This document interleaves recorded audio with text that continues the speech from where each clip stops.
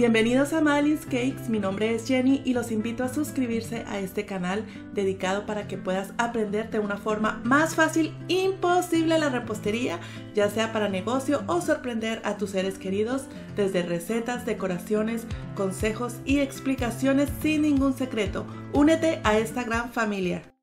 Hola reposteritos, primer videito del año gracias a Dios y si estás buscando una buena receta de chocolate suavecito y rico en sabor, húmedo y con ingredientes fáciles, esta es la receta que entrará en tu lista de favoritos, te lo puedo asegurar. En la cajita de información aquí abajo te dejaré estas recetas que son excelentes también, el de vainilla y el de red velvet, buenas opciones para el Día del Amor y la Amistad que está a la vuelta de la esquina o cualquier evento. Ahora sí, comenzamos. Estos son los ingredientes muy básicos como puedes ver y lo mejor de todo es que no es necesario batidora, todo lo haremos con batidor de mano. Ocuparemos agua hirviendo como puedes ver aquí. Esta receta es para un molde de 8 pulgadas o 20 centímetros y para mejores resultados hornea en dos moldes dividiendo la mezcla.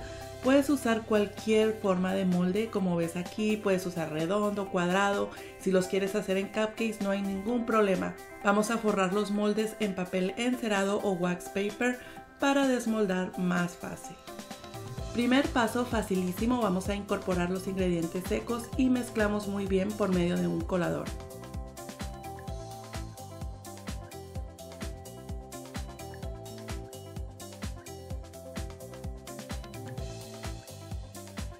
agregamos el azúcar y mezclamos. Este es azúcar regular.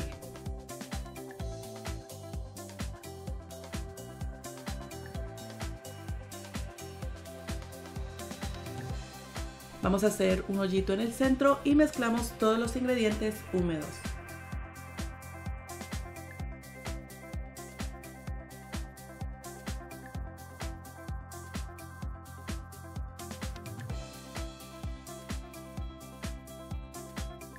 Nuevamente vamos a mezclar muy bien con la batidora manual como ves aquí.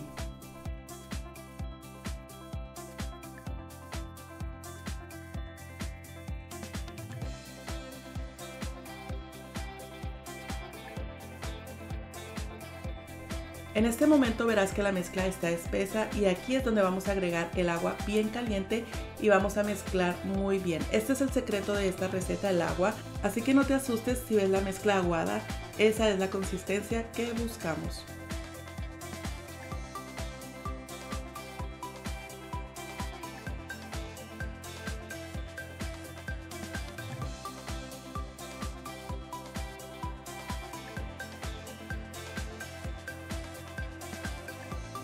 Esta es la consistencia final. Vamos a vaciar en los moldes y la estufa deberá estar previamente precalentada a 350 grados Fahrenheit o 180 si tu estufa es en centígrados. El tiempo puede variar entre 30 a 40 minutos o que al hacer la prueba del cuchillo salga limpio.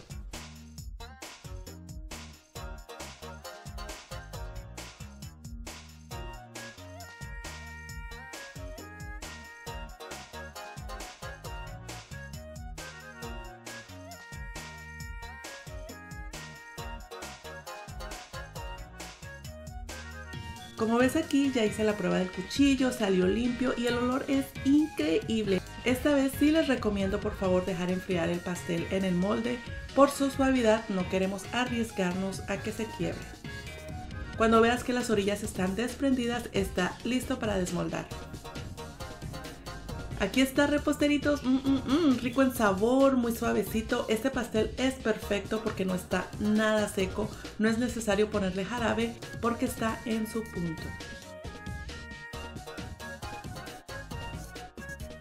Siempre envuelvo en plástico y refrigero. Esto es una recomendación que les sugiero para todo tipo de pastel toda la noche para que el corte y al cubrirlo quede mejor el resultado. Les estaré bajando videos de cómo hacer una deliciosa crema de mantequilla sabor chocolate y un glaseado brilloso para cubrir el pastel, también sabor chocolate. Muy próximamente, cuando estén listos estos videos, aparecerán al final y solo le haces clic a la fotografía y te llevará a ver esos tutoriales. Ay, papá, miren nomás qué delicia, un corte antojable, así que vamos a probar.